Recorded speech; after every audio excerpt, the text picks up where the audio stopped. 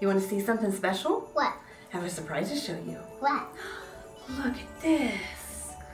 Whoa, who's that? That's me. Wow. Let's read it. Oh, look, it says Aurora's Christmas dream. You ready to see the picture?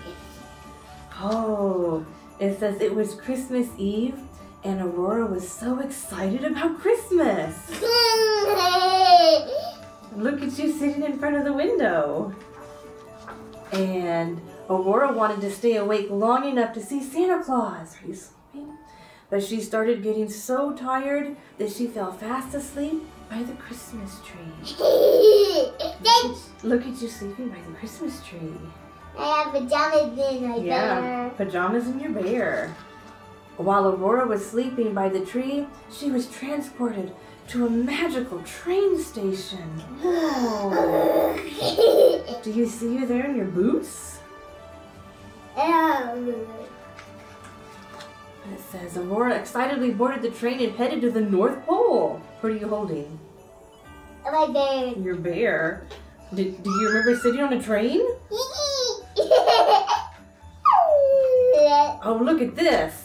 The train conductor yelled, North Pole ahead. Aurora got off the train and found herself at the North Pole.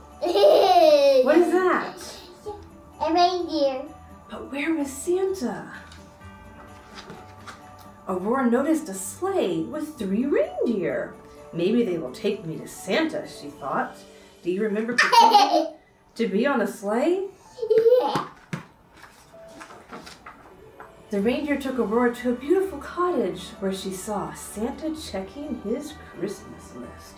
What are you doing? Are you being quiet? You're being quiet.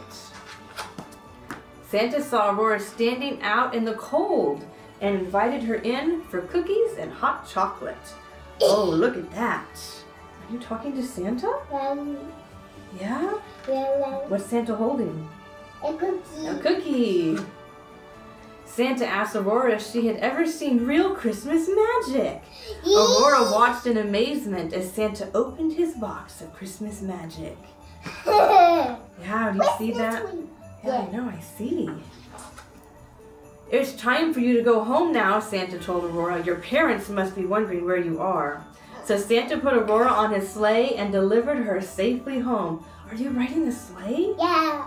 Whoa!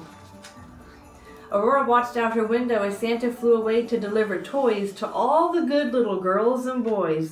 Remember you pretending to look at the window? Whoa! You see Santa?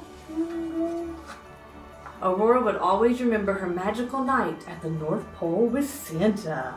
The end. Isn't that so exciting? Do you love your book? Um, can we take it home? Yeah, we can take it home.